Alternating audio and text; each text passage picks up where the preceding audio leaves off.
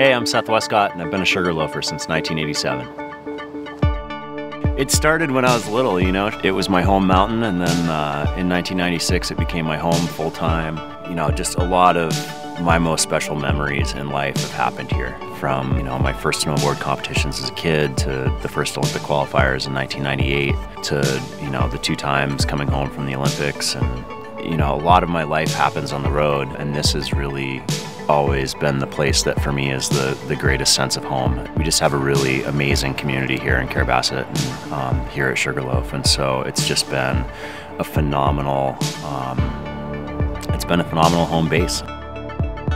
It was hard to be here all last winter, not getting to go out and play. It was the third major injury of my career. To be home for that many straight months without getting to go out on snow is a little tough to take, but uh, yeah, it's it's another year. Um, you know, a lot of progress has happened here again. Um, I'm excited about all the snowmaking renovations. Is going to be a really cool thing to uh, to get the season kicked off and to get early season snowmaking going. You know, just hoping for a good winter and hoping that uh, all the work that's gone out um, in the glades is going to pay off for those guys um, for all their hard effort and uh, hopefully get buried in a bunch of natural.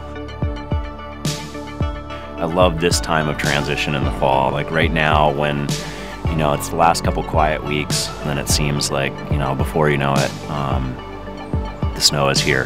Everyone's just getting excited for winter and getting excited for, you know, for all the great moments that everyone's going to get to experience over the next six, seven months. It's just, this has always been my home, and I love it.